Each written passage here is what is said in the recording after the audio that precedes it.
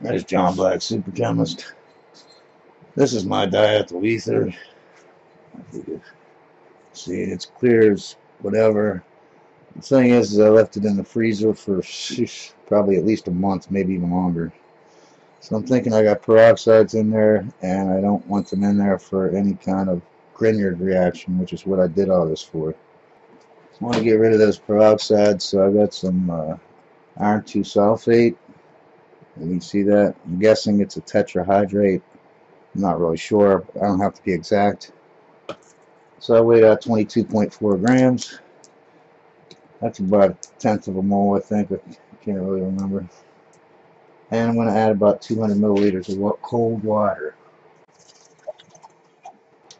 You can see, I don't know if you can tell on camera, but it's turning slightly green. Probably can't tell because it's real slight. Anyways, I'm going to start that. Get all that uh, dissolved in there. Now this oxidizes real easily just with air from the, you know, oxygen from the air. It'll go in there and turn it into iron-3 uh, sulfate.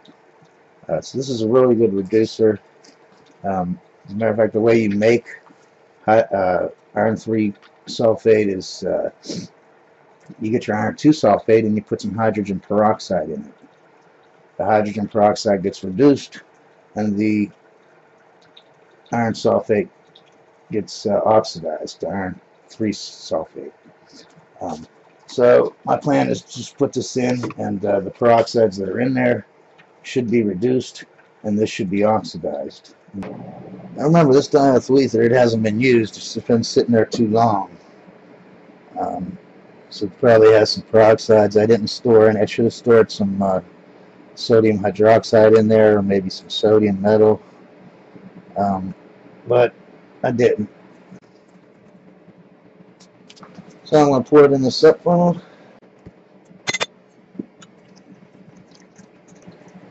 Remember, do not do this around flames. If you have any pilot lights, like on your oven and you're doing it by an oven or something, turn the pilot lights off, turn the gas off, uh, have ventilation.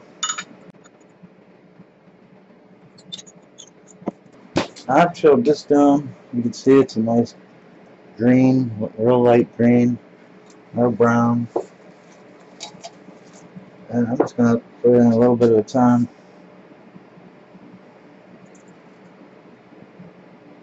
you know, maybe 25, 50 milliliters. And I'm going to start, and keep in mind, uh, you got to vent a lot. I'm not going to vent it. I'm just going to, I got a hole on here, a beveled thing here. I'll just put it on there so it has room to escape, a little pathway. And I'll swirl it.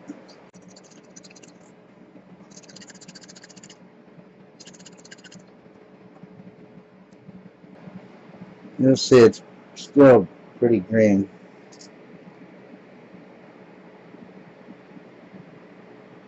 Uh, it kind of looks brown on camera, but it's not. It's actually totally green. Um, so maybe there isn't as many peroxides as I thought maybe. It's only been a month. It hasn't been like, you know, six months or anything. Alright, well, I'm going to let it sit like 20 minutes and see what happens. See if it turns brown at all.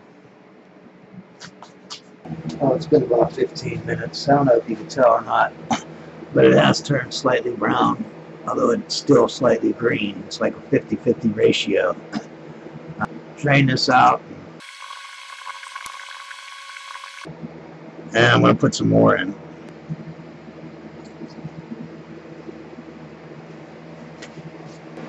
Stir it up.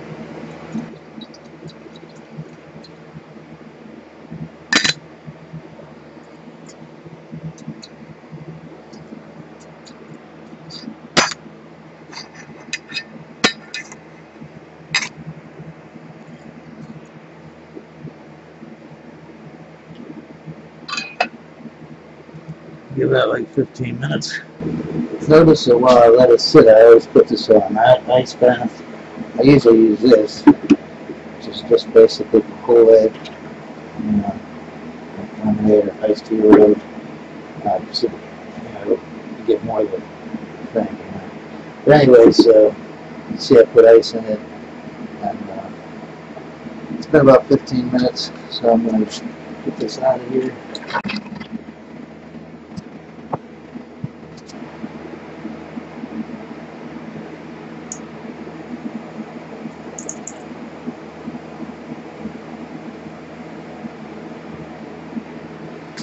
Actually, that's probably good enough. So I'm gonna, what am I gonna put in there next? Some cold water.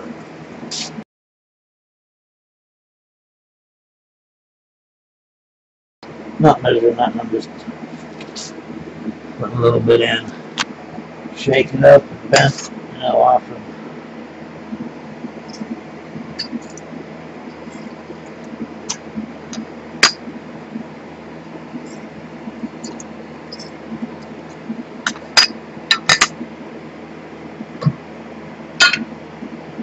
the ice back on.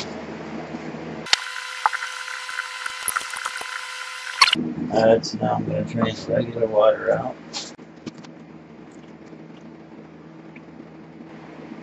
And I'm going to use table salt water. Saturated.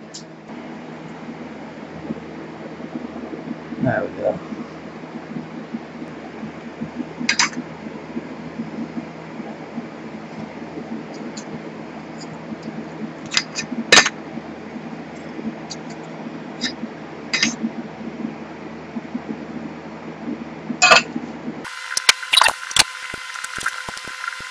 Alright, so I'm going to drain out that bottom layer again, the salt water.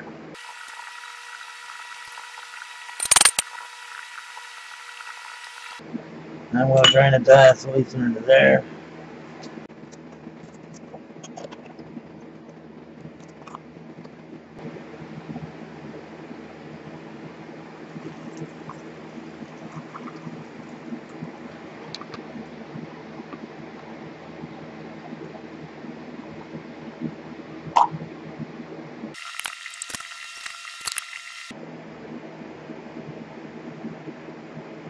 Some magnesium sulfate in there.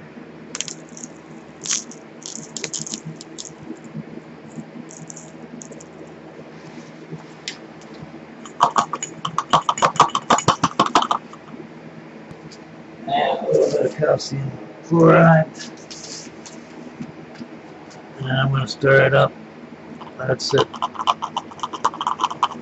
We're going to stir maybe 20 minutes or something it.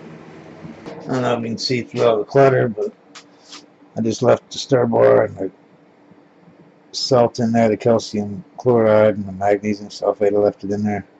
I'm just boiling this off. Use a Vigreux column because it's very low boiling point. So you might as well. It doesn't hurt, right? If it's that low. Because uh, the boiling point's only, what, 34.6 or something Celsius. There you can see I got that ice bath right here. I got definitely cold. You know, you can even see water condensating on the outside of the cooler here, condenser.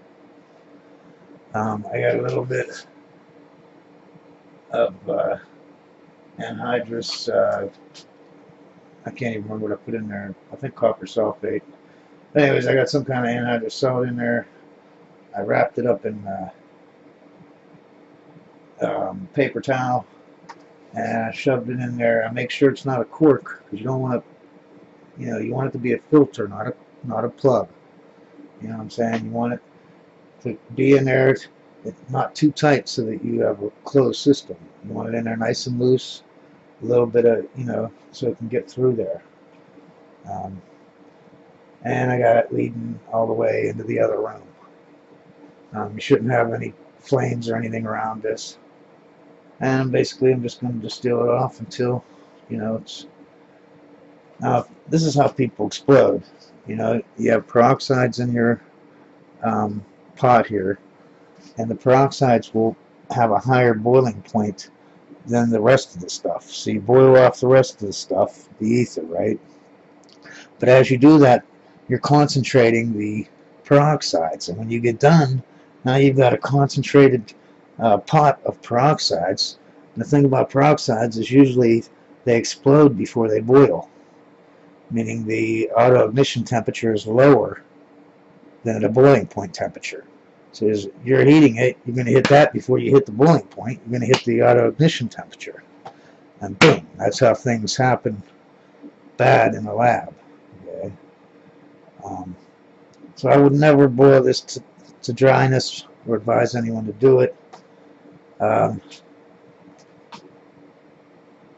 even though we cleaned it with the uh, iron 2 sulfate, the reducer, um, we still don't take it up, we still don't boil it to dryness.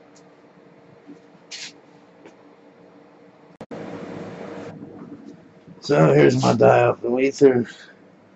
It's nice and clear, totally clear obviously. Um, but we're going to add some molecular sieves, about three days. And then this time we're not going to wait.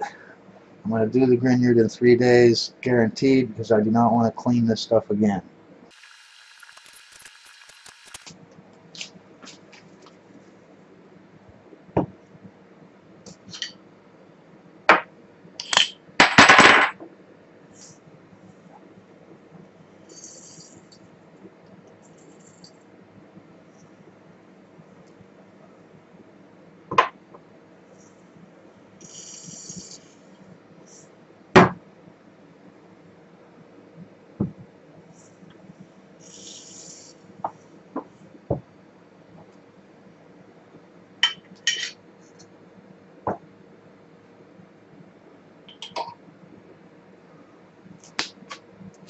And I'm going to shake this around every once in a while, maybe a couple times a day I'll go in and shake it.